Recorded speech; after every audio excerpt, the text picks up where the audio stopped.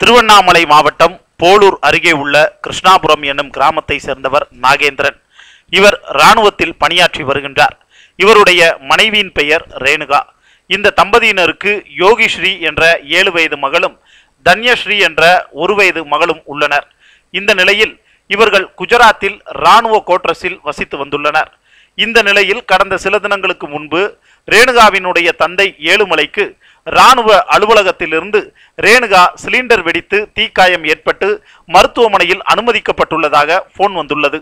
அதனைத் தொடர்ந்து ஏழுமலையின் குடும்பத்தினர்கள் பதறி அடித்துக்கொண்டு குஜராத்திற்கு சென்றுள்ளனர். உயிரிழந்த தனது மகளின் எரிந்த சடலத்தை கண்டு அவர்கள் வேதனையில் கதறி அழுதுள்ளனர். அதனைத் தொடர்ந்து ரேணுகாவின் உடல் கிருஷ்ணகிரிக்கு கொண்டு வரப்பட்டு அப்பொழுது அங்கு அவருக்கு இறுதி சடங்குகள் நடைபெற்று கொண்டிருந்தது. இறுதி சடங்கு நடைபெற்று கொண்டிருந்த போதுதான் ஒரு அதிர்ச்சியான செய்தி வெளியானது. அதாவது குழந்தை யோகிஸ்ரீ தனது அப்பாதான் அம்மா மீது மண்ணெண்ணெய் ஊற்றி கொளுத்தி விட்டார். நானும் தங்கச்சியும் கதறி அழுதோம் என கூறியுள்ளார்.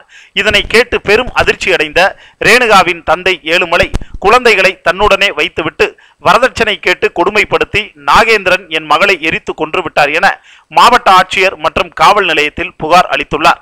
இந்த சம்பவம் அந்த பகுதியில் பெரும் பரபரப்பையும் அதிர்ச்சியையும் ஏற்படுத்தியுள்ளது குறிப்பிடத்தக்கது.